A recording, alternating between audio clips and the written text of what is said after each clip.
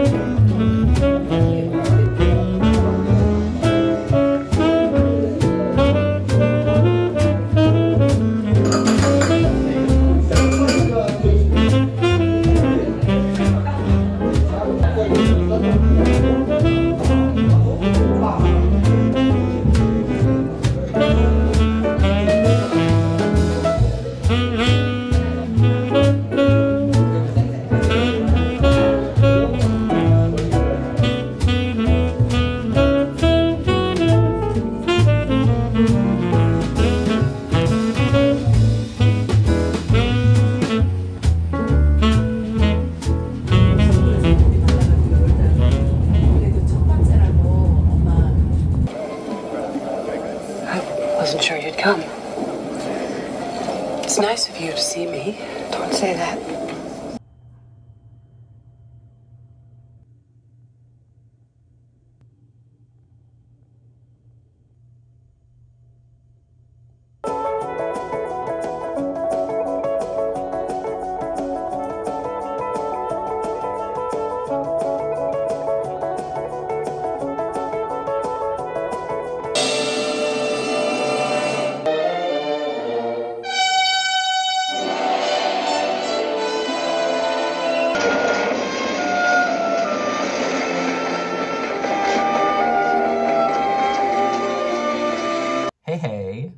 Your boy Nate. I read books because reading is sexy.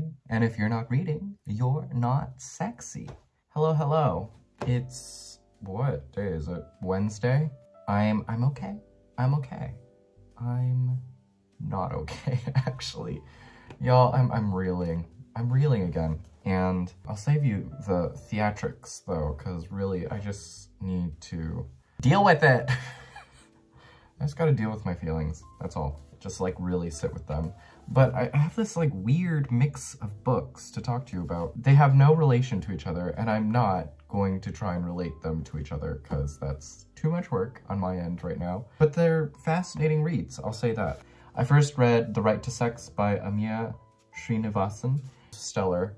I think what everyone said about this book, who was it? Joanne Pato, all my faves talked about this book, and I thoroughly enjoyed it in that it was really uh, eye-opening and enriching. There were just parts to this where it really called me out on a few things in terms of how I went about sex. Not, not going to dip into all of that, but for personal reasons, this was just really eye-opening in how I maneuvered my own body through a sea of other bodies and how we understand each other's bodies. Like, for example, when it comes to preferences, my type, when you involve ethnicities within that, it begins to become a really touchy subject. And it made me realize how ultimately the body is political. When it is born into the world, it is automatically political, even though the baby, the baby does not does not perceive anything, sex, race, gender, class, does not see any of that. It is ultimately born political. What do you do with that? How do you maneuver the rest of your life like that while it's still also trying to learn all of these things? Like, when you are born into the world, you are born into knowing and in this constant act of knowing. It's also within these educational moments, etages, that you really understand how the body cannot escape politics. And it's just something you have to live with. It's this uncomfortable puberty that just constantly happens throughout the years of your life. And that's that's what Amia has made me realize reading through this. And it's actually not a big read at all. I thought it was going to be big and dense. There's a bunch of notes in here, like half the book is just notes, which are just references and callbacks to other things. So it's it's actually quite a short read, but a very powerful read, and I feel like a very necessary read for anyone living in the 21st century. All men, all men should be reading this and become a better advocate for the way we maneuver other bodies and sex in general. I think it's an important read for those who do not exist within this field. Like if you are hardcore academic in terms of like um, gender studies, feminism, and all of those things, like sex as well, uh, this I don't think will lend a lot to you. But for lay people like me who are just curious and interested in subjects like this, I found it to be a very empowering read. Definitely pick it up. I think it's mandatory reading for all people right next to like All About Love by Bell Hooks. Like, ooh, like delicious, a heavy pairing, but quite a necessary pairing, I feel. All About Love, Bell Hooks, and this. It's up there with one of my favorite non-fics of the year because I think it's really, really important. And can't believe this was out in like 2021 because I still think it says a lot to how we maneuver bodies when it comes to sex in 2023. Oh, but when this comes out, I think it'll be 2024, so I still think it'll be important in 2024. So yes, pick it up. Mandatory. After that, I was like, okay, it's time to do it because we're at the end of November right now. And I, I finished East of Eden by John Steinbeck. Once again, holding this copy up because it's delicious. Look at that. Isn't that insane? Look at James Dean. Oh, what a man, what a man, what a man. Oh, East of Eden, John Steinbeck. I mean, I'm really not to offer anything new to the table here because I don't get paid enough for that. But also, just like everyone's said everything about this. We can go into the religious aspects, looking at Cain and Abel, the archetypes, all the characters. Oh, Lee, Lee. Mm, what, what a beautiful caricature. oh, the complexities of all these characters, all in their literary fic archetype just done so well. Cathy, what does it mean to be a monster?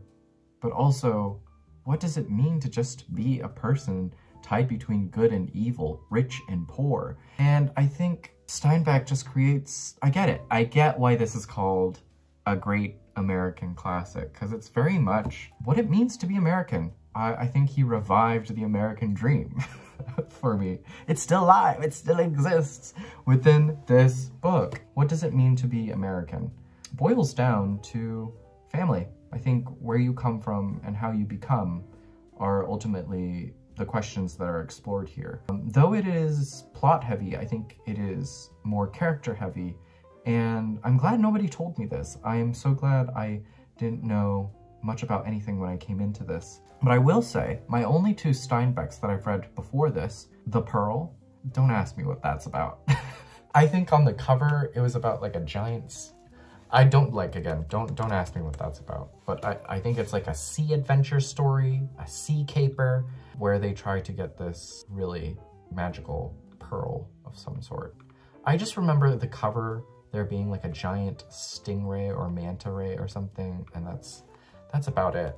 and then I read Of Mice and Men, which I thought it was fine, like for the classroom. I think it was just a, a fine book about, again, about the American dream, being on the poor side of life, and yeah, wanting that desire, wanting to see what's greener on the other side of the fence.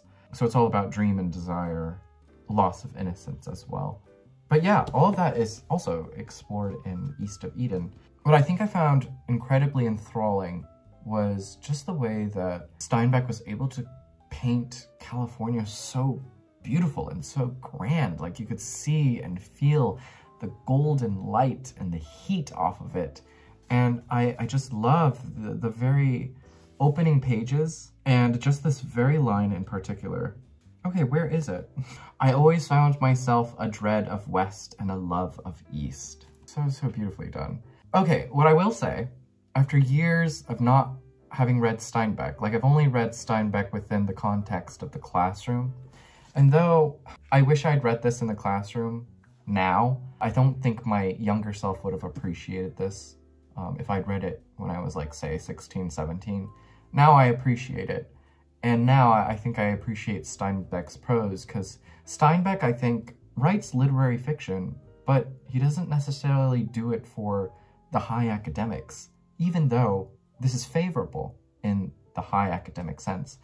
But I think Steinbeck writes for the people there's almost this like poor man quality to his writing, this like down in the deep in the dirt, and it's very humble. There's something so humble about his prose. It's very laid out, flat with the earth, down to earth. He's a down to earth guy, told through, I think, his perspective of people and how his little people sort of interact with each other. And there's a naturalness to all of them. And I think I, I did a bit of digging and I found that his characters, some of these characters are based off of people he knew, especially um, the grandfather character in here, was based off of his own grandfather. And now makes me curious, like, where did he find Lee? Like, who was who is that real person in his life? But they're done with so much respect, so much character, so much color, and I, I love all the ways that the characters interacted with each other in this. It It's just so, so grand, so wonderful. It's great. Uh, yeah, I see now why this is a great American classic. And now, for Steinbeck heads, if you've read any more Steinbeck, would like to know, what is your favorite Steinbeck?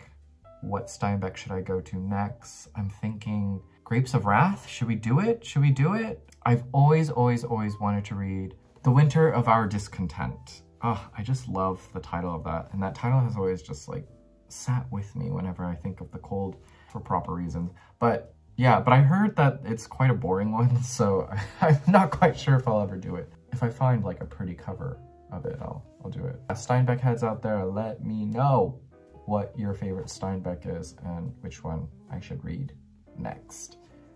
Loved this. Oh, will say, I watched the film version out of 1955 by Kazan with James Dean. Very different, very different. So if you are, if you have this assigned in your classroom and you need the Spark Notes version of it by going to the film, do not do the film unless you're doing a stronger analysis or a peek at the brother relationship in here in regards to the American modernization of Cain and Abel. Other than that, uh, I think it was a, it's a very frenetic film. Yeah, James Dean, he plays Cal, and in the film, I think he just plays his rebel without a cause character. And it's so funny because that movie came out the same year this film came out. Still a very interesting film. It's just done in that like sort of 50s, 60s, hyper technicolor kind of way. It's very theatrical, very heavy on the dramatics, the melodramatics. Overall enjoyable because James Dean, like handsome cat. Like I, I love that man to death. Still love him. Mm. I can't wait to go back home to LA whenever I do and just flip through my giant James Dean coffee table book. It's like my favorite thing ever. I got it as a steal for like three bucks at some like book sale thing and I just, oh God, it's such a great book to flip through. I just love James Dean. Oh, most handsome man ever. Now I just can't unsee Cal as James Dean in the book as well. I, I see it now and just that like troubling teenage self and wanting to do so more and sort of like remove himself from his legacy and just become his own person. It's, it, I think my teen self would have eaten that up, but see very much why James Dean was casted as Cal. Um, okay, I just finished White Holes by Carlo Rovelli. This was sent to me by Random House, Penguin Random House. This is an ARC. I think it's already out though. It was out October 31st, Halloween of 2023. It's about white holes. I did not know white holes existed. They don't. I don't know. we'll say half this book was about black holes and sort of like the last quarter of the book was about white holes and its exploration of it. But yeah, I learned a lot about black holes, which is interesting. I never knew that they were sort of like a, a funnel and that they're ever expanding and sediment within them. And it's, I was afraid this was going to be too sciency for me, but Carlo is such a great writer in that he writes for the non-physics person. He writes for the layperson. And he has this very literary flair to his writing. So it's just beautiful the way that he goes about uh, talking about science and black holes. What's great is that some of the diagrams are quite big too. They take up whole pages sometimes, so it makes you feel like you're going by real fast. Um, but yeah, he just talks about it with this admiration and fascination and that it instills fascination in you so that you're driven to keep reading about it. I, I never did well in science. I failed chemistry, I think. I like passed with a D in high school, if that says anything about me. But yeah, I hate science. I think it's fascinating, Mythbusters kind of way. But like, yeah, I, I don't, me and science don't get along well. I applaud anyone who understands science. Like, that is incredible. Like, I wish I was at your level in terms of smarts, but I am, I am a dumb person. And as a dumb person, this was really, really good. But yeah, if you are interested in black holes, you will be surprised to know that white holes exist. And you will find this, I think, very enriching. If you need a scientific read, this will do it for you. Yeah. If Carlo ever writes anything else outside of science, I will be happy to read it because I think he has really fun prose. Just uses images and similes to compare science to other beautiful things in life um, in terms of the arts. That just made a lot of sense and I wish I had in like my classrooms in science. A nice quickie. I think after I read something big like this, Oh, I also wanted to say, coming into this, my fear of this was that it would be really, really dense in that it was boring because it was an American classic. Like, I think Moby Dick is, I just did not enjoy reading that at all. Like, that feels like a textbook read to me. That gives major textbook vibes. Ulysses, James Joyce, that also gives, like, reading James Joyce in general also gives me, like, textbook vibes. Like, and I was afraid this was gonna be it, but I actually, like, blew right through this. It was actually quite a fast read for me in that it kind of reminds me, which is dumb to say, but like I read it quick in a way that I would read a Franzen really quickly. There was just these swells of character interactions that just like make you plow through it and it's just a joy. There's this literary magic to it that makes you crunch through the pages a lot faster that I admire in Franzen's work at times and yeah, made me crunch through this really quickly as well. Yeah, so I needed a tiny read and this is one of the tiny reads I decided to pick up. What am I reading now? Also trying to squeeze in another tiny, what is the date today, just to let y'all know. It is the 22nd of November today, a few days before Thanksgiving. I'm not doing anything for Thanksgiving because Thanksgiving is not celebrated in Korea, if you needed to know that. Um, yes, it is American holiday, and though I am American, I am not celebrating it, which I think makes me somewhat of a cool expat in a way because I reject this American tradition, colonialization. Do I get a gold star or something for that? Let me know. I started Gentlemen Callers by Corinne Hoex. She's a Belgian writer. This is translated by Caitlin O'Neill. Gifted to me by Ex Libris Alex. I'll leave their handle down below. They do fun book, old film content, follow. Give them a follow. They're, they're wonderful. But this is about a woman who dreams of many men many, many men, many kinds of different men within sort of the service industry.